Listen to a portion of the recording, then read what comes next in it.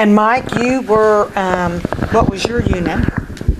Well, to start off with, I was 19 when I was drafted. And uh, uh, took my basic training at Fort Knox. My AIT and my MOS at the time was artillery, and I went to uh, Fort Sill, Oklahoma for that. And then um, Fort Meade, Maryland for some more training, and then to Vietnam. And uh, I don't know about the rest of these guys, but I was pretty naive when I got to Vietnam. I didn't. I thought I, I thought I was bulletproof. I mean, I was in a uh, a base camp that had several thousand, you know, people and all this equipment, and thinking, let's see some action. You know, we didn't. You just didn't think. You didn't think about what war really was. And so it didn't take it didn't take too many weeks to get over that. But uh, I was on a 105 howitzer and stationed in Co- or Chi was my base camp, and it's about 40 miles north of Saigon. And we were out in the field a lot. We we would we would move almost daily. But uh, uh, I saw quite a bit while I was over there. But when I got home, kind of like Bobby, I never I never had the nightmares and kind of left all that behind me. Mm-hmm. So you were in active combat too, were, and what was your job? You were, We were on well, I was in a battery, a 105 howitzer battery, which is a small artillery piece, and. Uh, and there You wasn't you you said something about knowing you know being over there with some of the people that you knew. Uh, there wasn't anybody in Kentucky in the whole battery that I was with. And, but you meet a lot of people and you make a lot of friends you know it's just that way and then when you go over you don't go over as a unit like they did in some of the other wars. You went over by yourself and you met these guys, you know, and you became good friends. Coming back was the same way. You were just kind of by yourself when you came back. But it was different as far as the way I kind of look at it. We did lose the war, but it's just like Joe said. Um, we don't, the, the soldiers don't feel like we've lost the war we feel like it was politics that lost the war.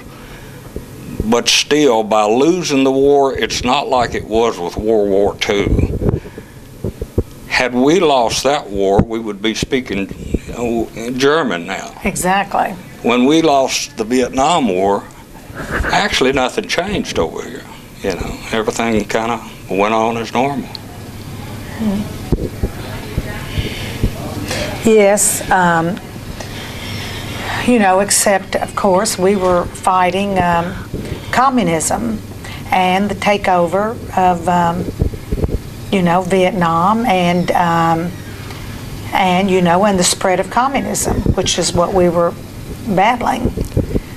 And I think in some regards, we certainly, you, you know, we certainly split Vietnam, but um, and you and and as you said, probably if politics hadn't been involved, we would have been over too. But gosh, that was a long.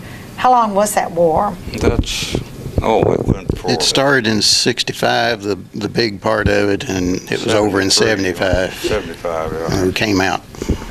And ten years, and lost how many? 58,000, I was going to say I I don't know the exact figure. I know it's over 58,000. Well, there's, uh, I think over, You over want that? 55, uh, there's over 55,000 names, I believe, on the wall now. And uh, they, they're adding, nearly every year, they're adding more names to the wall. And as they're finding uh, remains. r- remains and uh, they're bringing them home and uh, you know um, so it was a I'm sure glad that we're, we've been doing that, um, you know, getting more cooperation where we can get the, the- the soldiers that were missing in action and being able to bring them home. So, Yeah, it- it'd give closure to the family. I mean, that's, that's the main thing about it. right, Because a lot of them never had anything to, they didn't have a body or anything to bury when, you know, they just found out that their loved one was missing in action, and that was it. That was the way it was with Mike Medley. You know, when Mike was about a, about a month behind me in training, we were in the same class. And, uh, well, uh, Randy was in our class too. And, uh, the last time I saw Mike alive, I was about a month ahead of him in training, and we went through two weeks of what they called RVN training, getting ready to go to Vietnam, and, and they would take another unit, and they would go out there, and they, they would play the enemy, and we would, uh, we would have to find them out there in the, in the woods and stuff. Well, I saw Mike out that day. He, he, he was in the company that was the enemy, and I saw him. That was the last time I saw him alive.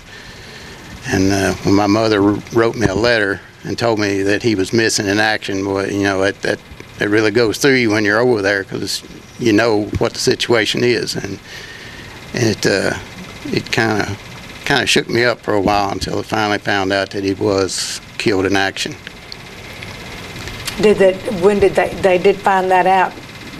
Yeah, they found it A out. few months or, Yeah, it didn't take too long. Uh, he was in the same kind of uh, unit that I was. He was in uh, armored reconnaissance, just like me, but he was in a different unit. And uh, but uh, but and on reconnaissance, you go in and we go out and look for them. You go out and look for them. Okay. I, I don't understand all the terminology always, so I have to stop and, and I know the demil- demilitarized zone, the DMZ. that was the and line that we was couldn't where- cross. Where the line, yeah, and you weren't allowed to That's- cross there. That separated north and south. And they Vietnam. could fire at you, but you Yeah. weren't able to go over there, which could very well have made a big difference. But Yeah. No, it's hard that when you get the politicians and things involved, I don't know, I don't understand it. Well, Um, see, when I was in Cambodia, the reason I was working for an outfit called Mac Air was to give the United States deniability of having anybody in Cambodia. And I've met, over the years, I've met a lot of people that were in Laos and uh, uh, Cambodia and uh, you know, you can't believe every, right now, you can't believe everything that you hear in the news about where they're at and what they're doing. Mm-hmm. You know, because I'm, Yeah, I'm you're a perfect example, Yeah, yeah. and uh, Well, you, you, you read now about all these people that are, you know, been in Iraq and Afghanistan that are working for these private companies that are, you know, engaged in training, I guess. So, I don't, I, it might be a similar situation, I suppose. I have a uh, friend uh, lives down in Georgia, and uh, he was a airborne ranger, and uh, he had uh, two tours in Iraq, and got out of the army and went to work for a civilian company, and then he spent nine years in uh, Iraq, and. Uh, you know, making a six-figure salary and basically doing the same thing he was doing In the service. in the service. Mm-hmm. So, That's most interesting, isn't it? I'm sure you all have some opinions about that, don't you? we can't go, don't want to go into that. You, you weren't making that kind of money, were you? Not in the, Not even close to it. they were barely paying you enough to uh, get by, weren't you? I think Weren't they, they, uh, they say that most of the military today uh, are b- below the paid below the poverty level. Yeah. You know, and then you got the civilians that uh, guys in the military get out and go to work for these uh, companies. Uh, That the government's contracting with. yeah, Yeah. and get paid big money for it. Yeah. I kept twenty-five dollars a month in Vietnam. That's all I kept. The rest of it I sent home. Because you didn't you- need it over there. You didn't have anything to spend it on. Were you married or? no, I wasn't married at the time. Okay. Were any of you married, or you were all just young, right out of school? And, and, and uh, Mike, so you say, because you'd probably never been, you said, never been out of Washington County hardly? I mean, Well- nobody at 18, you wouldn't be. Well, I You'd been yeah. out, just gotten out of high school. Well, I got out of high school, went to Louisville for, um, I was in Louisville for a year uh, before I got drafted.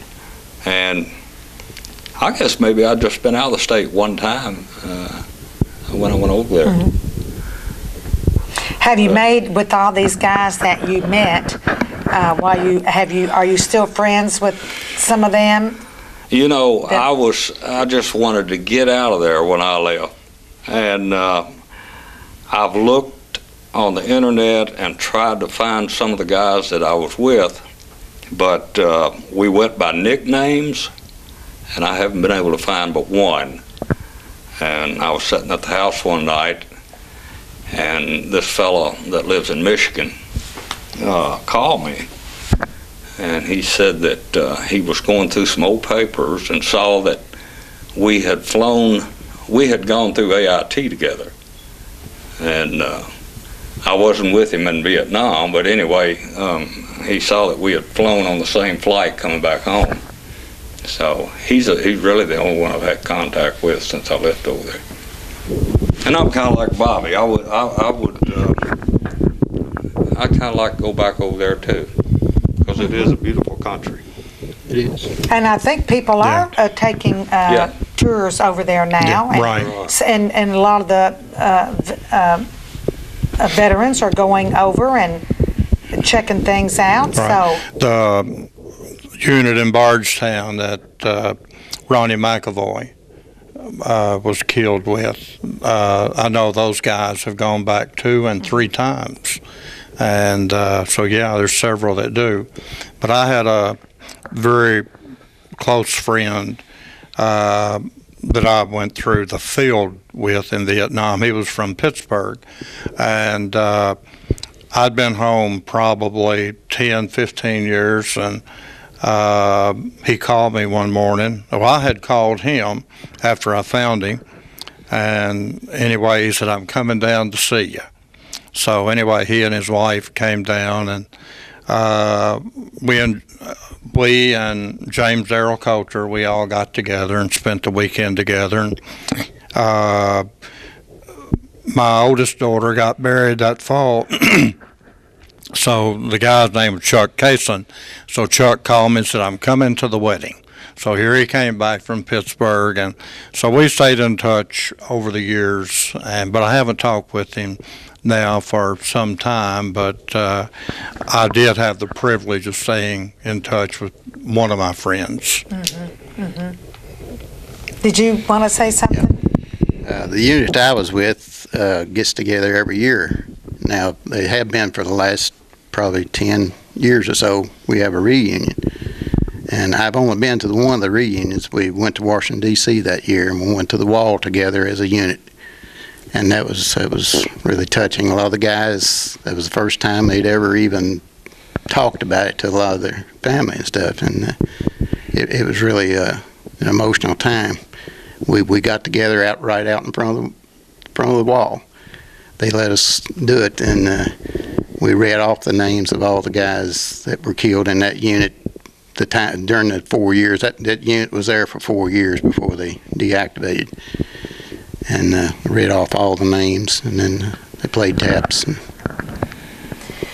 Well, I know, um, I know it's very emotional, and um, you know, um, and now they're now women are going into the military all the time. I'm glad they didn't have uh, women in the draft because I, I, I don't know if um, I can't understand the whole experience. You know, I see the movies and um, and you know read some of the books and uh, and uh, but all I can say is is that um, I appreciate very much your service to our country and uh, I would like to say personally I welcome you home and. Um, and I just want um, our listeners to uh, be sure this week and uh, and uh, thank a veteran for their for their service to our country. And it's uh, I can't tell you what it means to me, and I know it does to um, to our community, to our country. That um, we're just thankful for your service. So Thank you, Lisa. thank you for being here today. Thank you, Lisa. It's Thank been you. been an honor.